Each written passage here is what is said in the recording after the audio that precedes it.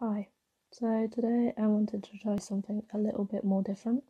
Unfortunately, I didn't film the process of this one, but it's something that I'm super proud of. So I guess I'm just going to talk about the process and how I got to the finished piece. About two years back, I fell heavily down a rabbit hole of watching documentaries, basically anything I could find about ancient Egypt. I was super fascinated with this subject. After watching a lot of documentaries, I learned a lot about the gods and their journey to the afterlife. I wanted to paint something up on the wall and started with a draft on paper and then I eventually pixeled the design onto my wall. Uh, the painting depicts the weighing of the heart test.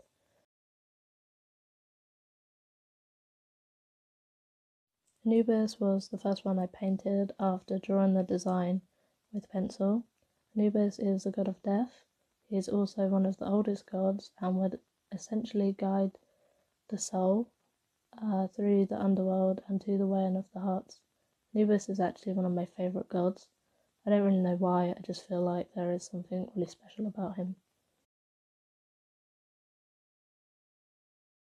Afterwards, I drew and painted Osiris. Osiris is the god of the underworld. After you had passed the test of the weighing of the heart against a feather, you would be admitted to your afterlife and would then meet Osiris. Even though I found Osiris quite hard to draw, I actually found him one of the most interesting ones to actually draw up. I liked all the colours that were depicted in most of the pictures and I tried to add them as much as I could into this drawing while giving it my own style. Uh, I gave him a seat to sit on as well and then I did paint in a pillar next to him as well just to fill in the area that was around him. Next I decided to draw in the scales behind Anubis. I wanted to give them my own style. I was actually super nervous to do these. And then I painted Ba, which is your soul, and then the goddess Ma'at on top of the scales.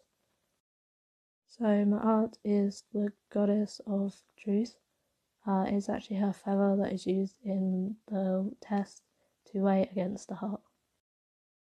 So next I began to add in a background. I did a block background above the scales. At this point I wasn't 100% sure where to take the background, but I just wanted to use these three colours and just bolden it up and just give it a little bit of colour to that space.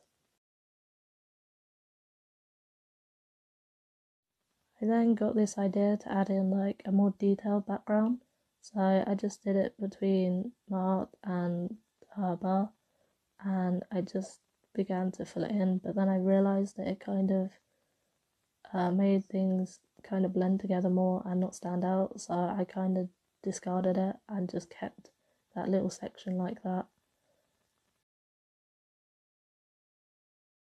So Thoth was my next target.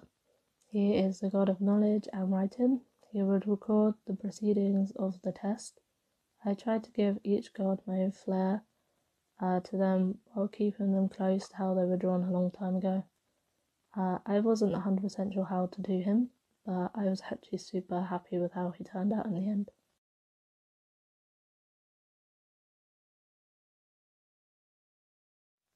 I then went back to the scales and just finished the bottom off adding in the heart and the feather and trying to bring it more to life. I did think to tell this story of the test, I needed to add in the demon that would devour your heart if you failed, so I drew in the only gap that I had left. She is part crocodile, part lion, part hippo. I wanted her to feel slightly different than the rest of them that were on the wall as well.